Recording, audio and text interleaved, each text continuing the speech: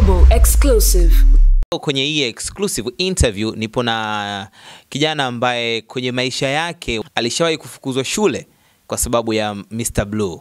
Tupo naye tupige naye story mbili tatu, atuambie imekuwaje alifukuzwa shule kwa sababu ya Mr Blue, lakini ni underground pia ambaye anafanya mziki alipofukuzwa shule kwa sababu ya Mr Blue bado haikutosha na kiu yake, akajitahidi akajitahidi mpaka akafanikiwa kukutana na Mr Blue akafanya ngoma. Kwa hiyo kuna story nzuri sana kutokea hapa. Eh bana, mambo vipi? Alhamdulillah, poa. Mambo ni aje mzee? Fresh. Unaitwa nani mwana? Bwana, mimi naitwa Uncle B on the way from Kigoma Mwandiga kule mwisho wa leli. Kipi kabisa ambacho kilikufanya wewe ukafukuzwa shule? Kitu ambacho kilichonifanya mimi mpaka nika, nika, nikafukuzwa shuleni pale bwana, uh, mwalimu mkuu aligumia daftari langu Nimeandikwa limeandikwa Babylon Biz kwenye daftari nyuma huko kwenye cover nimeandika Babylon Biz kwa sababu mimi jina langu halisi bana naitwa Bakari. Umeona bana naitwa Bakari, jina Bakari nani? naitwa Bakari Nuhu.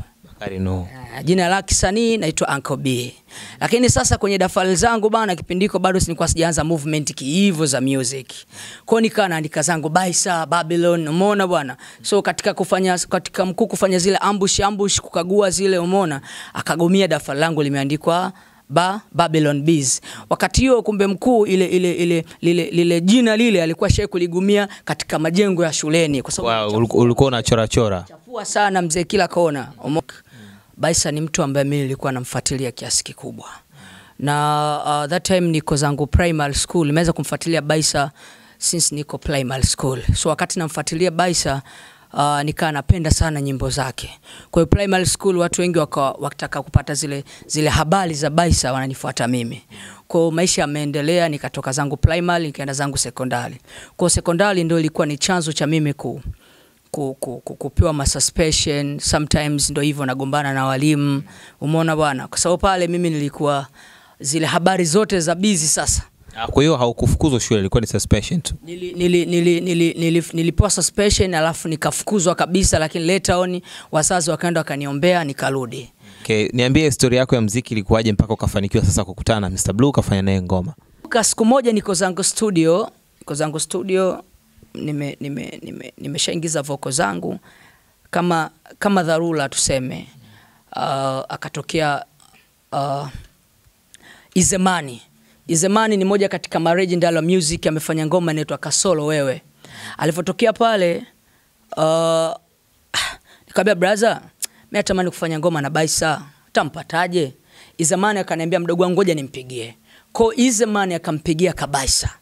Kwa alivyompigia kabisa, ambaye kuna mdogo wangu hapa amefanya ngoma kali nzuri anaomba uje ufanye verse. Kwa kupitia Izemani mimi nikampata Baisa. Baisa akamsikiliza aka, aka, aka Izemani. Kwa hiyo kupitia maana yake kupitia Izemani Baisa aka- akamwamini Izemani kwa sababu mimi Baisa hajanijua. Sio unanielewa mwanangu? Baisa bado hajanijua. Kwa kupitia Izemani uh, baisa akadondoka studio akafanya vocal. Umeona bwana? Ngoma ikawa kali. Alikuja na ndinga yake uh, studio ilikuwa iko tabata magengeni. Sasa kuna sehemu kama alitaka niende nikamchukue nika, nika sasa. Bwana kilichokuja kutokea nikamfuata mimi na mwanangu fulani hivi. Tukaenda paka pale kumchukua baisa.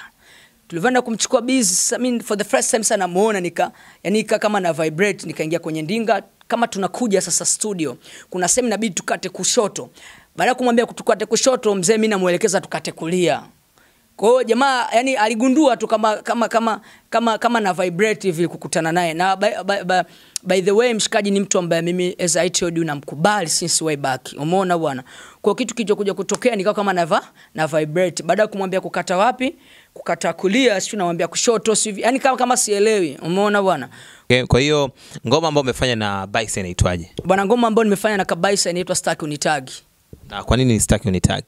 wa sitaki Unitagi ni, ni, ni, ni, ni, ni title ambayo uh, la ngoma ambayo nimefanya na Biz Babylon. Tumejaribu kuzungumzia watu ambao wanaedit maisha uh, nowadays uh, asilimia kubwa ya watu wanaishi kwa kufeki Sasa nikapata line moja kutoka kwenye usitaki unitagi. Eh, bwana hii ni mistari ambayo unapatikana kwenye hii project ya Staki Unitagi nilomshirikisha Biz na Dulayo.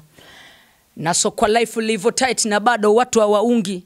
Subila anevuta heli, squeeze anavuta bangi. Watu wanafeki paka dini hawamwogopi hata Mungu. Wanathamini walinyama kuliko walimwengu. eh, inatosha mzee bwana uh, ni, ni, ni line nzuri sana nimeisikia uh, sasa unaweza kidogo ukatuambia stack Unitag tunaweza tukaipataje wa by the way uh, audio ilitoka video ndo tumeachia juzi kati hapa ina moto ipo na wanyamwezi wote niliwashirikisha wamo humo. Unaweza ukanifa, uka, uka, ukaenda kusubscribe account yangu ya youtube natumia Uncle B tz ya Uncle B ya a n c o b t z. Lakini pia instagram natumia Uncle B ya a n c o.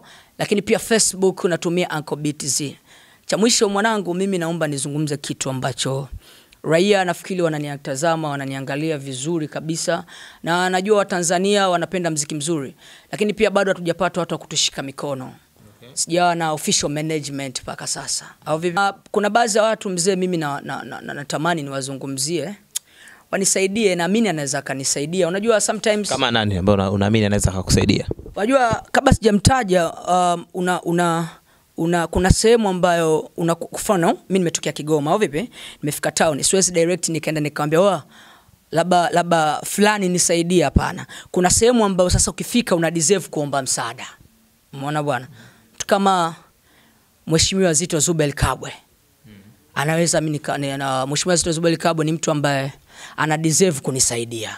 ushafanya ushafanya harakati zozote za kumtafuta Unajua, cha kwanza kabisa Zito ni mtu ambaye ukiachana na, na, na, na, na, na kuwepo Dar es Salaam au bunge na nini, mheshimiwa ni mtu ambaye tunatoka kijiji kimoja, unajua bwana na, na ukiachana na habari za kutoka naye kijiji kimoja, kwa maana yake mimi natukia sehemu moja tu Mwandiga Kigoma, na Zito pia ni mtu ambaye anatukia hapo Mwandiga.